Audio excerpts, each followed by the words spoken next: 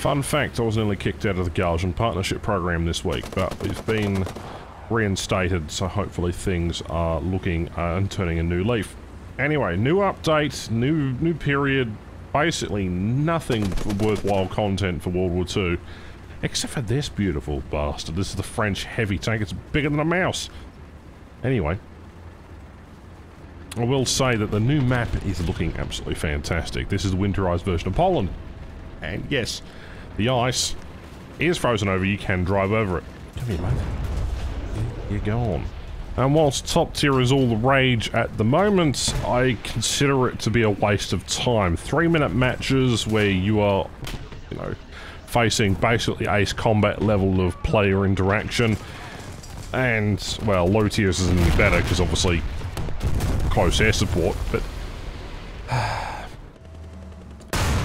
Come here, bitch. Alright, got him. So, yeah, like, this the machine is incredibly funky. It's... reminds me of a Churchill in a way. This is one of the French heavy tanks. I'm glad it's, you know, been added to War Thunder specifically because, well... Ah, you never know what's going... Oh, hello.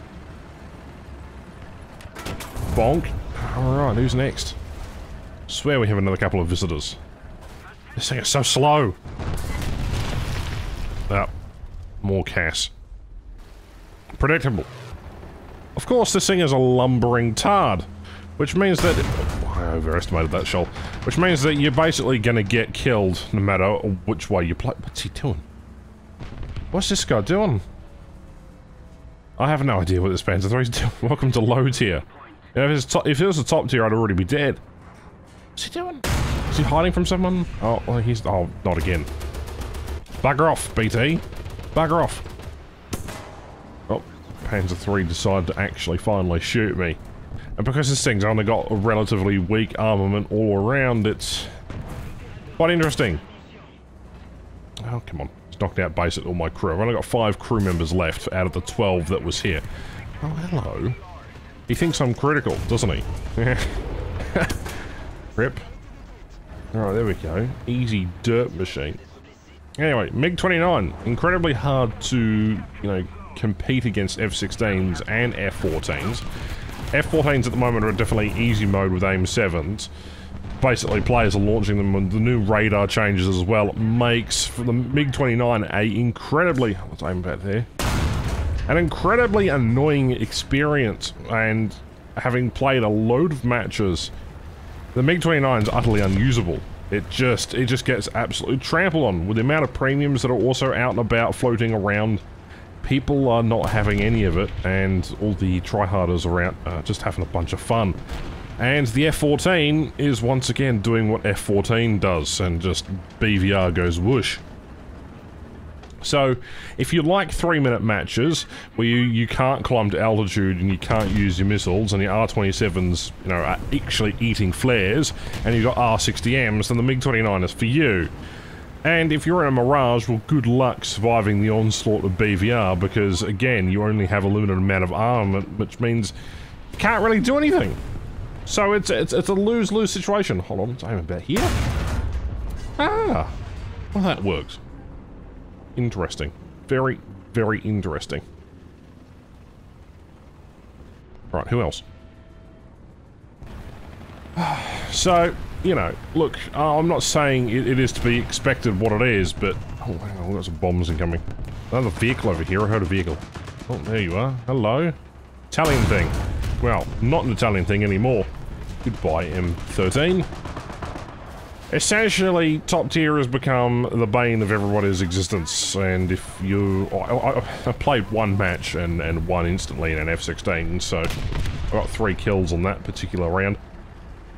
You know, I don't think there's any element of skill anymore. Uh, there, there kind of is. You have to be on your toes all the time now in order to play top tier. And while, uh, you know, I'm complaining about top tier, this vehicle's been immensely fun just to sort of rattle around in. On the same map again. Oh, hello. Goodbye. That poor BT-7M was going to wreck some people's day. There's a couple other tanks. Let's just sit here and wait. You never know what will come around the corner. Sorry, my Discord's going off again. Ooh, Ooh, ooh, ooh. Goodbye. Alright, so SU-85 looking thing, the SU-122, those things are lethal as all hell. Oh, shit. Alright, well, he's decided to back up because he's got about as long as reload as I do, except that I was already mid-reloading anyway, so he should be able to shoot there. Overpressure right there with the big shell that we have. Triple strike, not bad. M22's gone up a bit and he's uh, being a bit adventurous around there. This essentially is their spawn as well, so... I don't know, will we get around the corner? Like, like, don't get me wrong, this char is interesting, but it's one of the only interesting things out of this update aside from the Italian bread truck, or... Well, basically a, a flatbed with an M16 mount uh, strapped into the back. And you can't really use that to destroy tanks, per se. You can run around capturing points and being obnoxious as all hell, but it's not really a mainstay of content. I understand the focus was on top tier jets, but I'm, I'm just not enjoying the top tier jets at the moment. It's it's not a fun experience if you're playing any other nation, but you know ones that have you know beyond visual range missiles. Oh, hello. There we go. Ah, bugger, I'm in their spawn. Right, avoiding their spawn was a good idea and totally didn't die. No, no, no. So instead, we're going to dance. We're going to miss our shot. And you see that little marker. There's a, there's a new little marker in Ground Forces now. It tells you where you got critically damaged from, at least a, a hint indication marker. Uh, we're going to play Ring Around the Bros as if we can actually kill this guy. It's a problem with these lumbering land ships. So sometimes they don't really work in their intended roles. So look, I can just see him skirting around to the pixels moving there. He's thinking as being clever little guy. Gotta back up. Best thing we can do in this scenario is just back up. See if we can hit him with a machine gun. No. Okay. Again, because he's only got like a couple of crew, so he might be able to vet us. Yeah, no. And down to uh, nine crew members now. And uh, that thing's incredibly funny to sort of sort of look at. Apparently in the dev tree, or not the dev teaser, apparently in the Christmas teaser there's a, a version of this one with a 75 mil gun.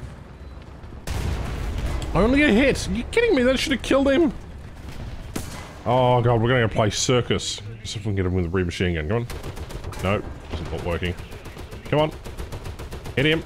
Critical hit. Okay, we've knocked out his Look at his gunner. He's going to be backing up. We're still reloading. We've got 14 seconds on the repair. I, I just, uh, this may be the very best piece of content they've added this year. I, I kid you not. I mean, the SU-25 was nice. We had the A-10 earlier this year. We had the SU-25. We've also had the, the, the F-14 last year.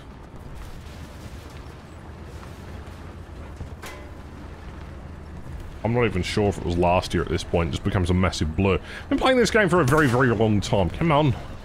Back up. I just need to get guns on. All he has to do is keep driving forward.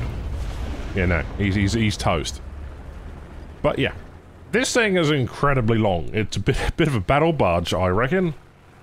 Good fun, but incredibly uh, just derpy. And, oh, no, not more CAS. Oh, it's a Potez. I thought it was a Stuka. Uh, but yeah, five kills. Uh, a couple of matches in this thing. Eh, it's not bad. It's not great. People know how to kill it now because its side skirts are incredibly weak. But if you're frontal on, you usually got a little bit more armor, so do take it in its stride. It's, it's a very interesting machine that I think a lot of people will actually enjoy. So, you know, it, it's longer than the Maus. It's a bit of a behemoth. It's a... Uh, World War interwar sort of program tank slash late World War One vehicle. So again, it's just one of those things. But guys, thank you very much for watching. Uh, I, I, have no idea whether I'll continue making content until the New Year's. I'd, I'd love to make videos on some of the top tier stuff, but I'm just not enjoying it. And I'm incredibly burnt out in War Thunder as is recently, so let me know what types of content I should produce then instead. Uh, but yeah, that's been the Char 2, and and let me know what your favourite thing of this update has been in the comments down below. Again, if you want to buy those stupid $70 premiums, there's a link in the description to save you a couple of bucks. Go do so there. And uh, I'll see you next time. Bye-bye.